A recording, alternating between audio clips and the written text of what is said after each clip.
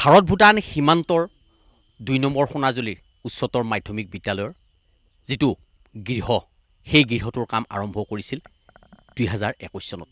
আৰু সেই সময়ত বি টি চিৰ মুখ্য কাৰ্যবাহী সদস্য আছিল হাগ্ৰামা মহিলাৰী আৰু বি পি এফ চৰকাৰ আছিল। আৰু সেই বি পি এফ চৰকাৰৰ দিনত এই গৃহটোৰ বাবদ প্ৰায় আশী লাখ টকা তেওঁলোকে আবণ্টন দিছিল আৰু সেই আশী লাখ টকাৰ কাম আৰম্ভণি কৰিছিল। আৰু তাৰ পিছতেই বিজেপি মিত্ৰজোঁট ইউ পি পি এল চৰকাৰ আহিল আৰু তাৰপিছত এই কামটো ফুট বাংলাত পৰিণত হ'ল। আৰু যাৰ ফলত এই বিদ্যালয়খনৰ যিসকল ছাত্ৰ ছাত্ৰী আছে সেই ছাত্ৰ ছাত্ৰীসকল এতিয়া পণবন্দী হ'ব লগা হৈছে। তেওঁলোকে এখন চালিৰ তলত বিদ্যালয়ৰ পাঠদান কৰিব লগা হৈছে যাৰ ফলত বিদ্যালয়খনৰ যিসকল শিক্ষক আছে সেই শিক্ষকসকল বিমূৰত পৰিছে। এটা কথা ক'ব লাগিব যে দুটা পাৰ্টীৰ ৰাজনৈতিক দলৰ তয়াময়া যুঁজত যাৰ ফলত ঠিকাদাৰে কাম নকৰা হ'ল আৰু কাম নকৰা হোৱাৰ বাবেই এইদৰে ফুট বাংলাত পৰিণত হ'ল এই বিদ্যালয়ৰ সমগ্ৰ গৃহটো। সুন্দৰ আন্তঃগাঁথনি নিৰ্মাণ কৰা এই বিদ্যালয়খনৰ আজি এই দুৰৱস্থা আৰু যাৰ ফলত চিন্তিত হৈ পৰিছে বিদ্যালয়ৰ শিক্ষকে আৰম্ভ কৰি যি কমিটি বিষয়ববীয়াসকল আছে। পোনে পোনে মই বিদ্যালয় সমিতিৰ কিছু বিষয়ববীয়াৰ পৰা পোনে পোনে জানিব বিচাৰিম আপোনালোকৰ এই বিদ্যালয়টো নোহোৱাৰ কাৰণ কি? ধন্যবাদ।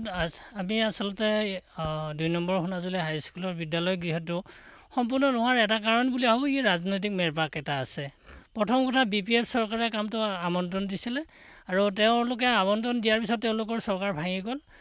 নেক্সট বি জে পিৰ লগত এলায়েন্স চৰকাৰ ইউ পি পি এল আহি গ'ল আৰু ইউ পি পি এল অহাৰ পিছত এই কামটো বন্ধ হৈ থাকিল। আমি জনামতে প্ৰায় ছেভেণ্টি এইট লাখছৰ এটা অনুদান পাইছিলে আৰু অনুমান কৰিব পাৰি প্ৰায় ত্ৰিছ লাখমান টকাৰ কাম ইয়াতে হৈছে। কিন্তু দুখৰ বিষয় ঠিকাদাৰে এতিয়ালৈকে আমি জনাত মাত্ৰ চাৰি লাখ টকাহে পাইছে বাকীখিনি টকা তেওঁৰ বন্ধ কৰি দিলে যাৰ বিনিময়ত তেওঁলোকে আমাৰ এই ঘৰটো বিদ্যালয় গৃহটো আধা মানে অৰ্ধনিৰ্মিত অৱস্থাত এৰি থৈ গুচি গ'ল। এইখিনিতে আমি ক'ব লাগিব যে আমি আচলতে একেবাৰে ভিতৰুৱা গাঁও এখনত এইখন স্কুল আমি ৰাইজে নিজৰ ধন খৰচ কৰি আমি ইয়াতে বনাইছিলোঁ।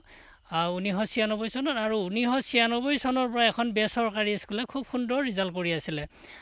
যোৱা বছৰ উপৰি বাৰু এইখন স্কুলে ডিমাকুচি চেণ্টাৰৰ ভিতৰত চেণ্টাৰ টপাৰ হৈছে। গতিকে এনেধৰণৰ ল'ৰা ছোৱালী আমি ইয়াতে গঢ় দিছিলোঁ। কিন্তু দুখৰ বিষয় এইটো ঊনৈছশ একৈছ দুই হাজাৰ একৈছ দুই হাজাৰ একৈছ চনৰ পৰা আমাৰ বিদ্যালয়ৰ যিটো পাঠদানৰ নিয়মীয়া পাঠদানৰ ব্যৱস্থা সেই পাঠদানৰ ব্যৱস্থাটো বিদ্যালয় গৃহৰ অভাৱৰ কাৰণে লাহে লাহে কমি গ'ল। আৰু এইকাৰণেই কমি গৈছে। ইয়াতে আমি লক্ষ্য কৰিব লাগিব যিহেতু ল'ৰা ছোৱালী ইয়াতে অভিভাৱকসকলে আনে এটা উচ্চ শিক্ষা পাব বুলি। তেওঁলোকে আশা কৰে ইয়াৰ পৰা ল'ৰা ছোৱালীয়ে ভাল শিক্ষা পাব। যদি ইয়াত আন্ত আন্তঃগাঁথনি নাথাকে যদি ইয়াত উপযুক্ত শিক্ষা নাথাকে উপযুক্ত শিক্ষক নাথাকে তেনেহ'লে তেওঁলোকে ইয়াতে স্কুলৰ ল'ৰা ছোৱালী কিয় দিব? ওচৰতে প্ৰাইভেট স্কুল আছে যিটো সময়ত চৰকাৰে কৈ আছে যে প্ৰাইভেট স্কুলসমূহ বন্ধ কৰিব লাগে সেই সময়ত কিন্তু আজি আমাৰ এই অঞ্চলৰ মানুহখিনিয়ে প্ৰাইভেট স্কুললৈ গতি কৰিবলগীয়া হৈছে। নিজৰ নিজে তেওঁলোকে হাজিৰা কৰে দিন হাজিৰা কৰে দিন হাজিৰা কৰি কিন্তু তেওঁলোকে চৰকাৰী স্কুলত নপঢ়ুৱাই ব্যক্তিগত স্কুলত ফিজ দি পঢ়ুৱাবলগীয়া হৈছে। গতিকে আমি আশা কৰিছোঁ চৰকাৰৰ যিটো মেৰপাক আছে সেই বি পি এই মেৰপাকটো যিটো প্ৰমোদ বড়ো নিখিল বড়ো ছাত্ৰ সন্থাৰ সভাপতি আছিলে সেই স্কুল যিহেতু শিক্ষা বিভাগটো তেওঁৰ দায়িত্বত আছে তাৰপিছত এই বস্তু ব্যৱস্থাটো হ'ব লাগিছিল নেকি যে দুখন চৰকাৰৰ উৰি উৰি মাজত এখন বিদ্যালয়ৰ গৃহ নহ'ব এইটো হ'ব লাগিছিল আমিতো আশা কৰোঁ আৰু সমাজৰ প্ৰতিজন সচেতন নাগৰিকে আশা কৰিব যে শিক্ষাক লৈ হেতালি খেলিলে ভৱিষ্যত প্ৰজন্মক পংগু কৰা হ'ব।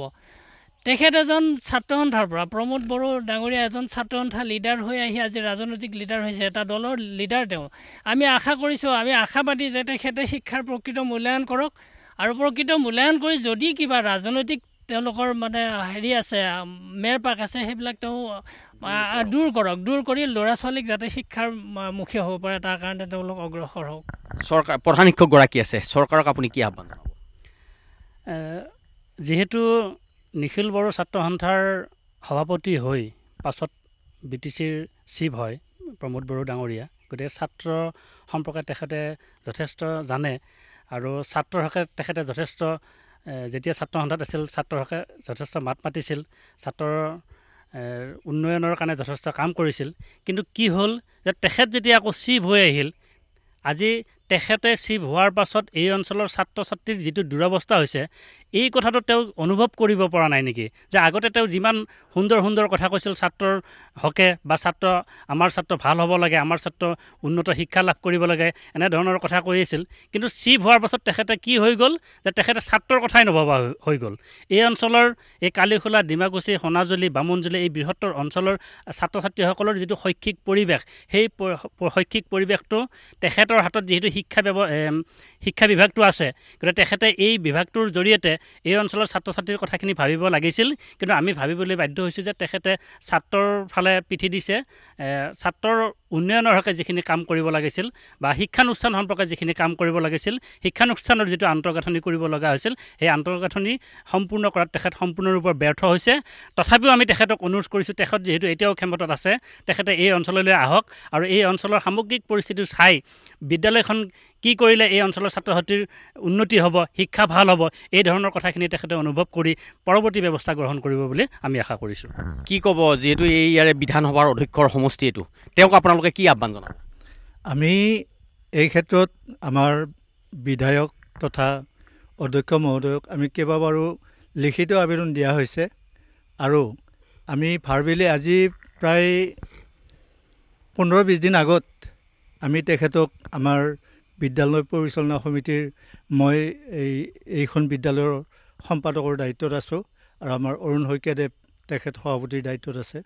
আমি লগতে আমাৰ সোণাজুলি মধ্যৰেংজী তেওঁ কি কৈছে? তেওঁ কি কৈছে তেওঁ আমাক আশ্বাস দিছে আশ্বাসটো এনেকুৱা দিছে যে বি টি চি গভমেণ্টৰ লগত তেওঁ আলোচনা কৰিব কি হৈ আছে তেওঁ কথাখিনি অলপ জাষ্টিফাই কৰিব।